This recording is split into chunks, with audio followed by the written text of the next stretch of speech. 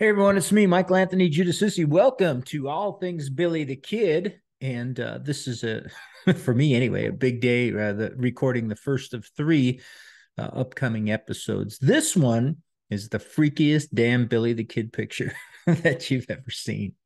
Um, look, I ask people uh, much of the content that uh, is included in the shows, photographs, articles, um, social media posts, those kind of things, they all come from people just like you. And I appreciate that. I, re- I encourage it and I thank you for it. Um, uh, with that said, you know, sometimes there, there are some pretty interesting things uh, that come across my uh, desk, I guess. Um, I got an email a little while back from Angela. And uh, Angela said, Hey, I, you've always said that if we have a potential Billy the Kid pick, we should submit it. Can I do that? Is that cool? Blah, blah, blah. And I said, Yeah, absolutely. Of course. And so Angela uh, proceeded to send me uh, the picture that I'm going to share with you today. And it, uh, look, uh, you'll you'll make up your mind uh, as far as what it is. But but before I show it to you, the one thing I want to talk about is there's this uh, uh, in the Billy the Kid universe there's this undercover undercurrent of naysayers. And I, hey sometimes i i join them too but the people that just automatically say no to everything. No no no no no. And they don't just say no but they're nasty about the way that they say no. Um, and they belittle uh, people and they're condescending and those kind of things. If we don't at least open up our mind to say hey there could be more than we are um, than we already know more information more documentation, more photos, the story could be different. If we're not at least open to the possibility, then how do we ever learn anything? If you're going to say no to everything up front, you're going to take a large portion of those people that are just going to take whatever they have and tuck their tail between their legs and, and go home. And so that's why I like to offer this forum to at least examine some of these things. Um, now, if you want to examining and then proving something two totally different things. That's actually four. So let's do this two totally different things. Examining means observe, look, form an opinion. Proving requires fact, evidence, provenance. Um, we're not trying to prove anything, we're examining things here. And I'm giving you, in many cases, what my opinion is.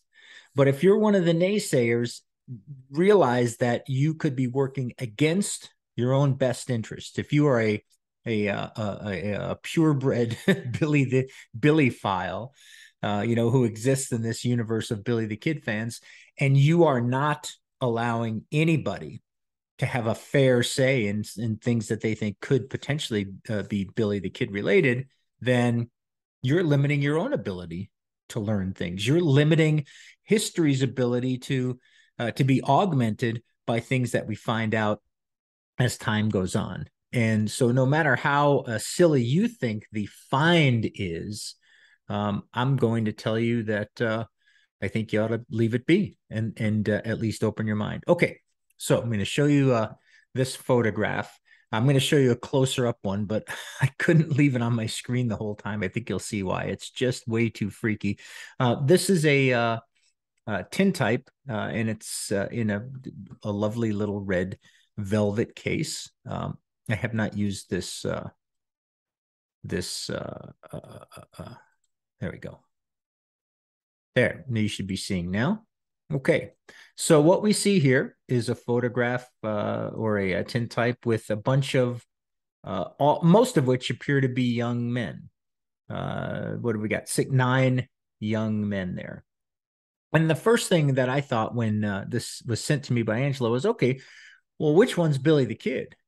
Because I think you could make a case for several of them looking like Billy. And that, of course, is the crux of the challenge with finding Billy the Kid photos is he wasn't really that unique looking. He was just kind of a, you know, average looking cowboy from the 1870s and uh, of Irish descent and probably looked like a lot of other guys. So this is the photo. You might say, well, what's so freaky about that? Wait till I get to the enlargement and then you'll get a better uh, sense of it. Um, but which ones do you think are Billy the Kid or could be Billy the Kid? I, I, immediately I look at it and go, okay, this guy over here could be. He's got a little, you know, issue with his uh, with his face as far as the the quality of the photograph. This guy here sure could be Billy. Um, Angela felt this guy up in the corner here because he had the sombrero on, could be Billy. But I could, you know, make a case for that any of the three of those might potentially be William H. Bonney. Let's take a look at the uh, at the close up. you can see how this thing starts to look a little freakier. Uh, I don't know what happened to the eyes. Like this is like Children of the Corn or something. but this dude here freaks me the hell out, as does this guy uh, who also freaks me out. And look at this guy's wonky eye. like, what in the hell was going on with these guys? What were they on? that their eye they look like serial killers. This guy's got no eyes. This guy's got these beady. I mean, there's there's I'd say there's two guys that look relatively normal, and that's this dude here and this guy in the back. The rest of them all have some level of freakiness to them, and and I really this pops up like I in my email, the photograph I use. Uh, I have an, a Mac, a MacBook, and so uh, it, the way that that mail works is it just opens the attachment. So as soon as I open that email, this thing pops up, and I had to close it and move it so that it I wouldn't keep staring at it while I was trying to do my work. um, okay, but that said, let's let's take an examination here and see if we've got any potential Billy the Kids. There's zero provenance provided here, so uh, you know, no um, uh, no uh, information about where the photo came from, uh, when it came from, who took it, no ID or anything like that. Pro- you know, pretty cool old photo of a bunch of young guys who were probably existing in about the right time period, right? 1860 to 1890 or something like that. Um, so this is the guy that Angela thought could be Billy because of the hat. Now, he has no eyeballs, clearly, but in any event, um, I I look at this guy and go, I don't think so. Um, he looks, his face just doesn't have that longer kind of appearance of Billy's. Um, I don't see any, you know, specifically identifying uh, marks that would lead me to believe or, or shapes of the face that would lead me to believe it's him. The guy just happens to have a broad brim, broad brimmed hat, which may or may not be a sombrero. You can't even tell, and that's kind of it. Uh, I don't think he looks much like Billy the Kid. This guy down here, besides not having any eyes, and I wonder who hated these guys so much that they jacked this picture up almost purposely, it seems. Um, this guy here has maybe, I don't know, a little more uh, Billy ish look to him, right? Uh, and we can't see the eyes. The nose, eh, maybe pretty similar. You know, he's got a little bit of the rounded chin. Looks potentially like the ears could be close. Um, yeah, uh, shoulders tough to tell, but you know, eh, he, he at least could be. Uh, if you were casting a movie and said, "Hey, I want somebody to play Billy the Kid," and you can choose from these nine actors, you'd have to have this guy read for the photo, uh, read for the photo, read for the part, rather. this dude in the middle just kills me. But we're gonna move on uh, past him, and we're gonna go to this guy right here. This is the guy that, to me, if you're looking for a Billy the Kid in this photo, this is the guy that looks like him. At least looks. He, he's got the protruding mouth, as you can see there, right? His lips are holding something back. That's an interesting way to put it. Um, he seems to have similar ears in that, you know, they're they're a little more pointy on top. He might be part elf, but yeah, it looks like the earlobes uh, are detached. He's got the longer, kind of rounded chin. I think there's some photo defects here that uh, hurt that. His eyes are certainly rounder than the slits that we see for Billy's eyes in the uh, known tin type. So this guy's more of a Guai Lo, but the nose is slim. I mean, this is a guy. If you're gonna if you're gonna cast a film, let's just use that as our analogy. Uh, if you're gonna cast a film, I think this guy would be Billy the Kid. I think this is the guy you would choose because he probably looks the most like him. He looks kind of tore back, as they say, down south or out in the west, and uh, you know, like he's been Uh, he's been out on the range. Uh, he's got some, some, really interesting eyes. I can't tell if he's got eyeshadow or uh, ladies tell me, or guys, if you use it. What what's the eyeshadow goes on top? Uh, eyeliner maybe. Looks like he's got eyeliner on the bottom of his eyes. So that's uh, uh you know maybe add some drama. I'm not I'm not quite sure, but um so this is the purported photo the Kid. So one of the things I thought is, all right, well, let's see if we can identify some of the other guys, right? If there's anybody else here that could be anybody else, maybe you got something. Um, when I look at the guy lower left here, kind of looks like Henry Brown, um, you know, who went on to become a marshal and uh, in Kansas, if I remember correctly.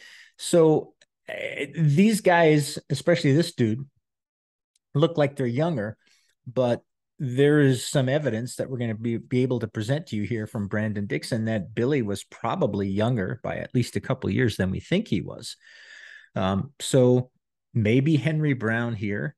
Who are some of these other guys? I look at this dude here on top or in the middle, and I think, okay, that could be Charlie Bowdre. If I had to have somebody be a Charlie Bowdre, I think that would be him. Um, you know, he's got a, I don't know, Charlie had kind of a weird shaped faced, angular, um, it looks like. And uh, this guy could be a young Charlie.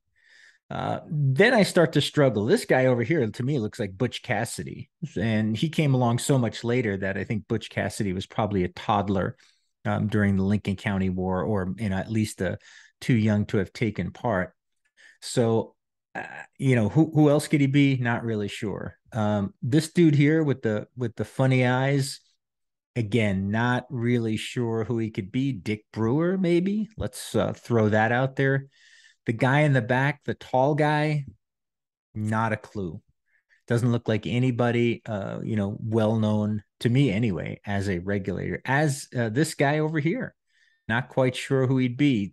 Maybe he's a little. It's tough to tell. Maybe he's a little darker skin, maybe of Mexican descent. So we'll just call him Chavez um, to go with somebody, but who in the hell is this guy? And what was his, what was the instruction by the photographer when he took this picture? Uh, like what, what did they tell him to do? This guy looks like he's about to eat your your arm off or something. I mean, he, he's looking at the photographer with a, a, jar of A1 in his hand, like he's a, a cannibal or something. Um, I have no idea who that would be, but if I'm going to fight the regulators, and you know we're going to have to go to hand to hand combat or something. I do not want to be fighting this dude. This dude is going to eat your flesh off the bone and then he's going to neatly wipe his you know mouth off with a, a cloth napkin and then he's going to go down the street and have a beer. Like that's the last guy i want to fight. That's the epitome of crazy right there at least the way it looks to me. So i don't think I, I don't know, but I don't think these are this is a photo of Billy, unless he just fell in with a bunch of young guys somewhere along the way. Maybe this is Jesse Evans, and that's Billy, and these are the rest of the Jesse Evans gang. I don't know, but unless he fell in somewhere by the be, right after he left Arizona and killed Cahill, and before he arrived in um, uh, uh, Lincoln, or maybe the couple years after he escaped from prison in Silver City and then wound up on the eastern edge of Arizona. You know, maybe he fell in with some of these guys down near the border. I just don't know. But I don't think that any of these are Billy the Kid. But if any of them are, I'm going to go with this guy, lower right hand corner with the slim, long face and the beady eyes and the eyeliner as being Billy. And hey, Billy was socially like to look good, a little eyeliner. I, I don't know what it does. It does it bring out your eyes? Is that what it does? Like make them uh, pop? He probably would want his eyes to pop um, so that, you know, women would notice him. Um, the rest of these guys all seem to not have makeup on. Uh, so, yeah, that's about the best I can tell you. But this is the uh, newest purported possible. And and by the way, for you know, uh, in all fairness, Angela didn't say, "Hey, this is Billy the Kid." She said, "Hey, I've got this photograph. Uh, you know, I, I somebody's told me, or uh, or I read that it could be Billy the Kid, but um, but she didn't say it was." And so, uh, yeah, this is her belief. This is a good looking, smooth faced dude with no corneas or no, uh, what are they, pupils? Um, with a uh, potentially with a sombrero on, but I think he's, I don't think he's Billy, and he's probably too tall. I think this, if I'm choosing, this is Billy. That's Henry Brown. That's Butch Cassidy. That's Chavez. That's Dick Brewer. That's Charlie Bowdre. And this is your worst nightmare. Whoever the hell this guy is, I just don't know. Maybe that's Jesse Evans. Um, but uh, what do you think? Love to hear what you uh, believe in the comments uh, and uh, see if you think that we found a, a, uh, a Billy the Kid photo. Uh, yeah. All right. Let's uh, stop that. So, um, interesting. If you have photographs that you think could be the kid, well, by all means, send them along. Billy the Kid rides again at gmail.com. Um, let me refresh the poll numbers here. I thought this was interesting uh, in light of uh, the uh, announcement of Barry Keoghan um, going to be uh, at some point doing a new, let's get this here, uh, doing a new uh, Billy the Kid film. I put a poll up this just this morning. I put a poll up this morning. Goodness gracious. See, when you have the intellect of a 12 year old, all of this stuff is funny. For most of you, or probably all of you, that doesn't even strike you as being funny because you're mature, like functioning adults and human beings, whereas I'm not. Okay. Uh, so I was curious, what Billy the Kid movie would you be most excited to see? Uh, a Billy the Kid movie with Barry Keoghan, uh, which promises to be, at least, you know, the, they all promise to be, you know, the true story of William H. Bonney, just like the Epix series promised to be that. Uh, but Barry Keoghan says, you know, that this we really want to tell the the true story this time. Um, Guns Three, uh, so Young Guns Three, a movie just about Billy's childhood. Um, tough to do because there's not much to go on and so you'd have to make a lot of it up.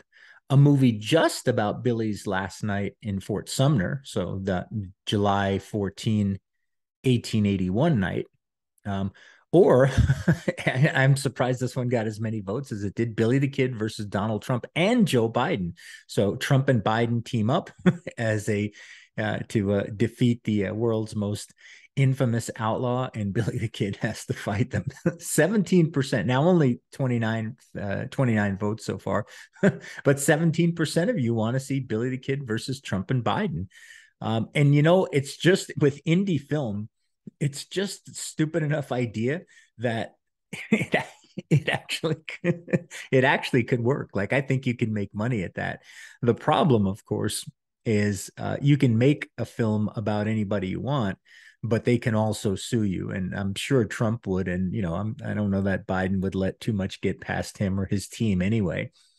Uh, when you have a uh, a person who is is deceased, that you cannot defame a dead person, so you don't need any permission to write a book or a film about their life.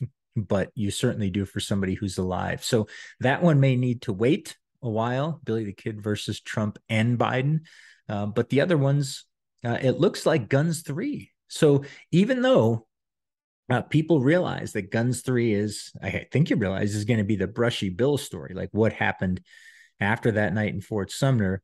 And then how did Emilio Estevez slash Billy the Kid get to uh, Governor Mabry's office in 1950? Um, they that's the story that people want to see about one third of people but i was actually surprised let's have a quick refresh here see if anybody's voting as we speak um, no, not yet. Uh, 24%, a quarter of you said, yeah, a movie just about Billy's last night in Fort Sumner. Uh, I have actually uh, written that film, or at least half of it. Um, don't know that it'll ever be made uh, because of the economy of making indie films right now. But I wondered that the biggest challenge when you when you're making smaller films, obviously, is just raising the money. If you have money, you can make anything you want money buys you time money buys you talent uh, if you have no talent and no time then you have no film um, but but most of the crowd fund people have said oh you know go do a one of those uh, uh GoFundMe or uh, trying to think of some of the other Indiegogo or something like that. Um, most of those things fail miserably for for film anyway. Um, I mean, really, really fail like big time. Um, and I think the reason is what I've seen in my very limited experience with that is that people would pay 10 bucks to watch a movie. Like to get people to go to a theater, as long as it's a movie they want to see, not very difficult. They'll pay their eight or nine or 10 bucks. They'll pay for the popcorn, the soda. If you go to Flicks, where, where we like to go, then you can eat a meal and have a, a beer or something. Um, so they'll do that, but they won't take the same 10 bucks and donate it to have to to help make the movie. It's just a it's a, a disconnect between you know what what i'm going to do with this $10 and what the ultimate result is going to be. That's what i've seen. It's just a, a huge indifference to people. Uh, so i always wondered about trying to change the perception of the mindset and say to people i don't want you to fund me making a movie about billy the kid. What i want you to do if you want to see the movies buy your ticket now. Or in other words here here's here's the button to buy your $10 ticket to see the Billy the Kid film, the last night in uh, last night in Sumner, and then as soon as it's finished, we'll send it to you. Um, it, the exact same uh, uh, uh, process as crowdfunding, but a different idea of why you're doing it.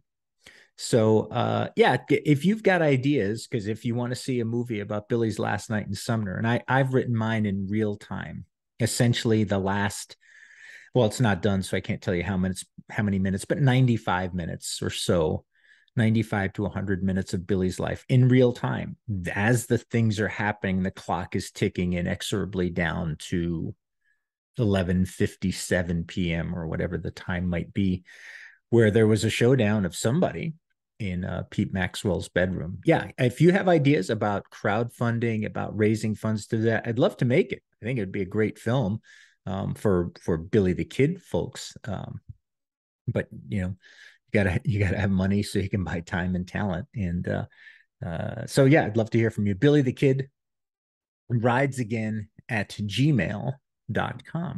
All right, we've seen the freaky picture. Um, I'd love to again hear your thoughts on is that Billy? Uh, or are those guys even human? Is it a zombie uh, photo from the 1870s or something? Um, last bit of a uh, uh, little pitch here is that you can uh, go a long way towards supporting the channel by picking up my Back to Billy series of books, and they're available on Amazon, Barnes and Noble, all your booksellers worldwide at this point. Um, but if you just go and pop, uh, pop, pop my name, Michael Anthony Giudicissi, into Amazon uh, you'll come to my authors page, and that's where all the books are. The entire seven book series, book eight is already completed. Book nine will be started shortly. Um, and uh, you'd want to start. I finally got my own copy, actually, because since I'm doing this through a distributor, I'm not stocking cop, uh, copies here anymore. But I got the second edition, totally rewritten, uh, Back to Billy uh, book and I really felt like this was the one that was the weakest. It was my first ever novel. And so I wanted to dig in and rewrite it and did that. But this is the one to start with. Read it. It's a complete story. Uh, the last words to the story are the end. uh, but um, the, you may be left with some questions about what happened to certain people, what you know, what went on next. And so if you get captured by this one, there's six more you can read, plenty to keep you warm during this uh, ridiculous winter that we're having. And you can find that on Amazon, Barnes and Noble. Yeah, and and that really does support the channel, right? Because it gives me more time to uh, be able to go out and uh, do some more on-site videos. You can't see my project board, and I'm not going to tell you what's on it. I'll tell you one of the things that's on it. Um, but there's five on-site videos slash recreations that I have planned for this year. Um, and one, oh, somebody's really interested. Oh, that might be good or uh, bad news. I guess we'll we'll wait for that a little bit. Um, but uh, one of them is the uh, Tunstall murder site, and if you uh, haven't seen, just go back one episode and see my interview with Brandon Dixon, um, who walked us through really kind of step by step, minute by minute, what happened out there. But I want to get my feet on the ground and film it for you. And I want to show you where Tunstall was, where the posse was, why Tunstall got confused, where the regulators stationed themselves. I want to show you the whole thing.